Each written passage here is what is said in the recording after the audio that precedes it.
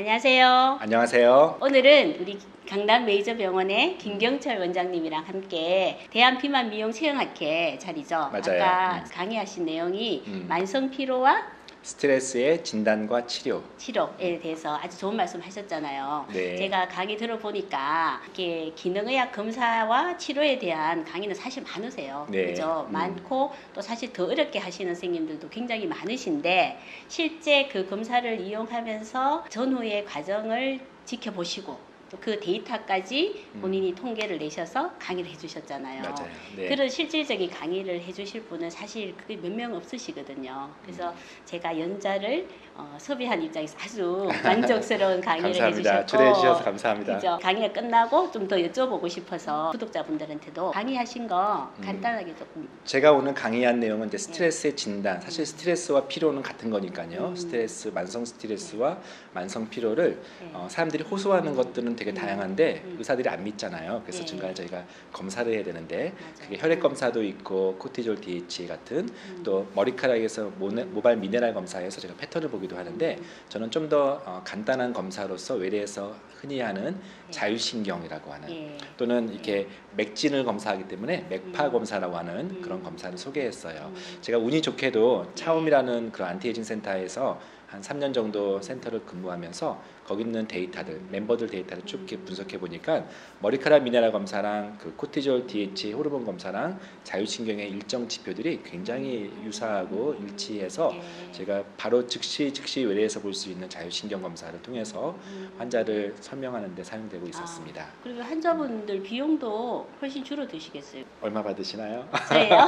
보통 한 12만 원에서 15만 원 내외로 보통 받으시더라고요. 네. 근데 자율신경은 모바일이나. 굉장히 비용이 싸요. 네. 임의 비급여기 때문에 네. 또 우리가 실비. 청구도 가능하고 예, 이래서 예. 저희 병원은 한 3만 원 정도, 그렇죠. 네, 자율신경은 정도, 네. 3만 원 정도. 2, 3만 원 정도 저희도 받아서 네. 어, 기분 좋으면 공짜로 해주기도 하고요. 아 그래요? 네. 어, 바로 나오는 게 장점이에요. 예, 그러니까 그렇죠. 저희는 네. 외래에서 기다리면서 검사하고 들어오기 때문에 네. 그분의 한 달 전 후의 네. 비교를 계속 보면서 음, 음. 어, 정말 마음은 어떤지 몸은 어떤지 추적하는 장점이 있더라고요.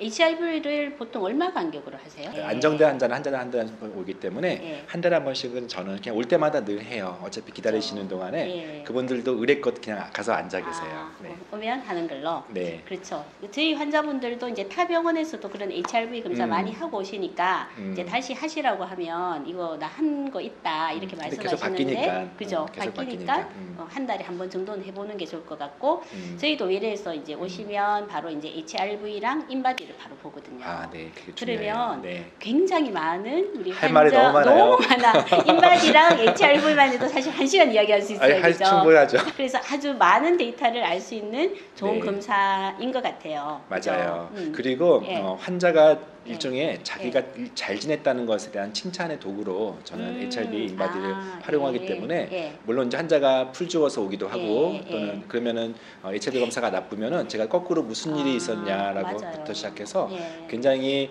어, 그분이 말하지 않아도 음. 그분을 설명하는 음. 검사로 대표적인 게 이 자율신경 검사라고 할수 있을 것 아, 같아요. 그러실 것 같아요. 예. 사실은 이제 이런 다양한 검사를 하지만 음. 그걸 reading하는 선생님의 역량에 따라서 맞아요. 이 3만 원짜리 검사를 맞아요. 우리가 30만 원으로 쓸 수도 있고 맞아요. 아니면 네. 그냥 이렇게 네. 할 수도 있으니까 생각보다 선생님들이 잘 이거를 몰라서 저도 네. 예전에 있었던 병원에서 네. 이거 검진해서 스트레스 검사라고 예, 했는데 그렇죠. 뭔 소리인지 저도 몰라 가지고 맞아요. 예. 너무 그때는 음. 정말 많은 환자들한테 좋은 설명해 줄 수 있었던 네. 기회를 놓쳤는데 그렇죠. 어, 딱그한 페이지거든요. 예. 근데 한 페이지에 되게 예. 많은 지표들이 있어서 예. 그 조합을 나누면은 예. 굉장히 다양한 함의가 있는데 간단하게 제가 세 그룹을 좀 나눠 서 말씀드리면 예, 예, 예. 아마 여기 기능학 하시는 분들은 많이 예. 보셨을 거예요. 자기 결과지. 결과지에 보시면 중간에 빨간색 그래프, 파란색 그래프가 예. 교감신경, 아, 부교감신경이라고 해요. 음. 흔히 교감신경이 2대 1 이상 있을 때 음. 근데 계속 움직이니까 사실은 음. 그때 그때 달라지긴 예. 하지만 늘 교감신경이 높은 교감신경 우세형이 있고요. 음. 저는 대표적인 교감신경 우세요. 아 그러세요? 원장님은요? 거의 뭐 5대5 아, 아, 니면 역시- 부교감 살짝 올라가 역시 밸런스. 부교감신경이 엄청 높으신 분이 있는데 예. 그것만 봐서는 안 돼요. 예. 밑에 아랫단에 음. 에너지 점수가 있어요. total power, 예, LF, 그렇죠. HF라고 예. 하는 그 주파수 지표들이 음. 있는데 네, 교감 신경이 높고 부교감 신경이 낮은 그런 교감 신경 우세형도 에너지 점수를 봐야 되는데 음. 어, 교감 신경이 일반적으로 높으면 되게 에너 자이틱한 사람이 음. 저 같은 예. 근데 에너지가 떨어졌으면 그렇지 않아요. 잘 해석해야 되는데 네. 어, 교감 신경 높다는 얘기는 굉장히 긴장되어 있는데 음. 에너지가 낮다는 얘기는 몸이 말을 안 들으니까 마음과 몸이 따로 놀아서 예. 마음은 무척 동기부여돼 있고 예민하고 다 보이는데 음. 싸움이 힘드니까 몸이 안 따라가니까 말은 못해요. 그래서 화병이 생기는 것처럼 예.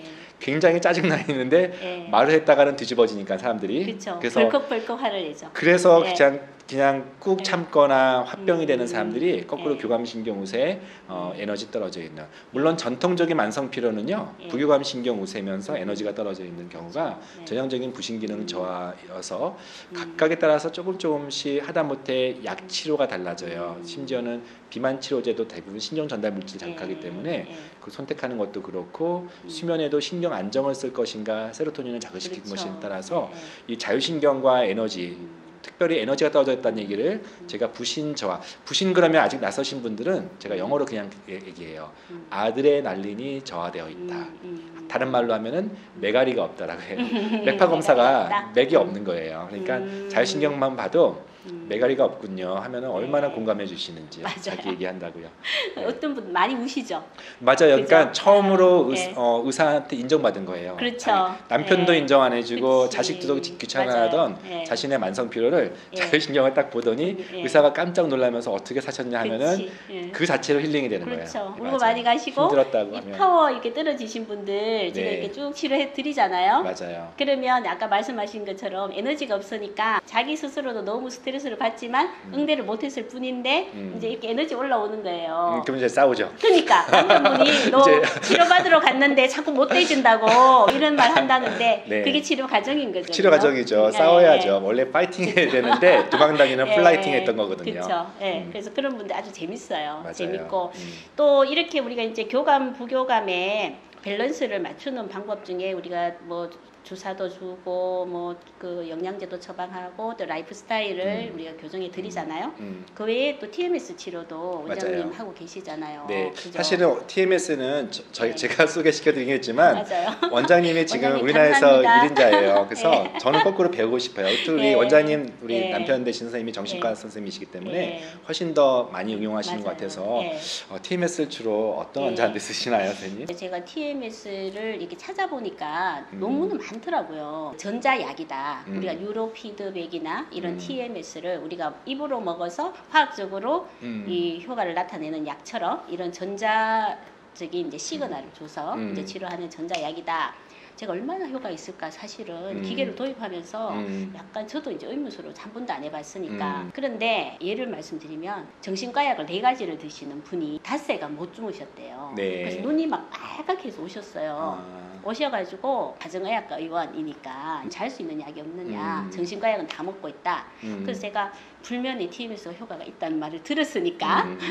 한번 해보시죠. 이제 그러면 이제 첫 개원이고 별로 음. 뭐 환자분도 없으시니까 매일 오세요. 음. 매일 오시고 두 번 오시면 더 좋다니까 제가 비용은 안 받을 거니까 두 번씩 오시라 그랬거든요. 음. 어, 처음에는 원래 한 5회 내지 6회 있어야 효과가 좋아지잖아요. 음. 근데 뭐 처음에는 뭐 이렇게 좋아지는지 모르겠다 이러더니 한 5일째 되시는 날 화를 안 내고 가셨다는 거예요. 아. 직원들이 말만 걸면 막 벌컥벌컥 갈 데가 없어서 오긴 오지만 음. 이 본인의 상황이 너무 힘이 들어서 화를 음. 냈는데 그러면서 이제 나중에 쓱 진료실 와서 쓱 이렇게 앉으시는 거예요. 음. 근데 원장님 이거 나중에 다시 못 자는 거 아니에요? 이러는 거예요. 음. 제가 개원하고 지금 1년 정도 됐잖아요. 음. 근데 이, 이 동네 분이시니까 만나는데 지금 잘 주무세요. 어. 결론은 뭐냐? 이 네 가지 정신과 약을 모두 끊고 음. 또 잘 주무시고 음. 그다음에 그 우리 HRV가 어떻게 나왔겠어요? 이분이 어. 뭐 variability가 완전히 없었을 거 아니에요. 그쵸, 그쵸. 탁 네. 나왔고 음. total power가 착 떨어졌고 어. 불면증 환자는 교감이 떨어진 분이 많으시거든요.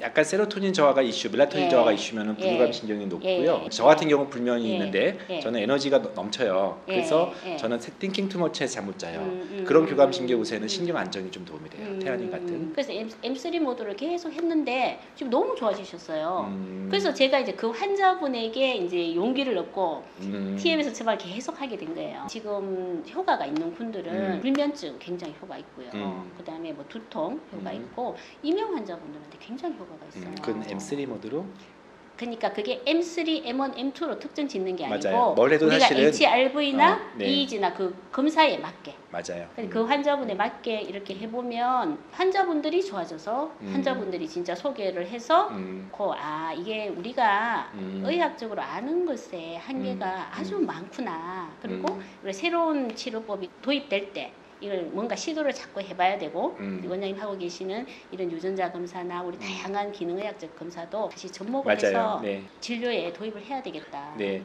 어. 의사들이 네, 네. 의사들이 좀 약한 부분이 우리는 이제 바이오 케미스트리라 해서 음. 생화학은 되게 잘해요. 맞아요. 혈액 검사, 네, 네. 뭐 미토콘드리아, 네. 뭐 정말 우리는 많은 검사에 익숙한데 음, 좀 의대 의대 때부터 좀 저희가 덜 배웠던 것 중에 하나가 맞아. 물리학 개념이에요. 아, 어렵죠. 그래서 요즘은 특별히 양자 네. 물리학 개념으로 네. 그래서 이제 quantum medicine이라서 양자 의학 예. 쪽인데 사실은 MRI 원리가 그런 물리학 아. 개념이거든요. 주파수 어, 조직마다 다른 음. 주파수에 따라서 음. 어, 자석을 쐬었을 때 반응이 다른 것 때문에 예. 조직을 구별해내고 암을 구별해내는 그런 MRI 음. 원리처럼 자율신경도 주파수 가지고 그 사람의 음. 어, 마음 상태와 신체 상태를 보기도 하고요. 예. 또 neurofeedback이나 이런 magnetic resolution 같은 음. 어, 자극하는 그런 치료 모드가 사실은 어, 우리 몸이라는 것은 세포로도 구성되어 있지만 어, 음. 또는 동시에 파동으로도 구성되어 있다는 그 관점을 음. 우리 후자는 잘 몰라요. 그래서 어, 오히려 한의사들이나 그런 그런 약간의 좀 그렇죠. 어, 정통의학가 아니신 분들이 좀더 네. 익숙하지만 네. 물질이라는 것에 기초한 음. 게 어, 사람이고 또 인간이기 때문에 더 나아가서는 영혼까지도 그래요. 그래서 음. 이런 어떤 물리학적 개념의 진단과 치료에 대해서 예. 좀 의사들이 먼저 공부를 많이 해야 될 것 같습니다. 원장님 많이 네. 공부하시고 많이 가르쳐 주십시오. 저도 저도 많이 배우고 있습니다. 오늘 학회장에서 음. 김경철 원장님 만나서 반갑게 인터뷰했습니다. 아주 네. 좋은 말씀 많이 네, 또 해주셨어요. 뵙겠습니다. 어, 유튜브 이름이 네. 뭐죠? 이웃집 닥터 김혜연의 기능의학 TV. 기능의학과 함께 예. 김경철의 미래의학 TV도 같이 아, 좋아요, 네. 구독 부탁드리겠습니다. 감사합니다. 예. 네.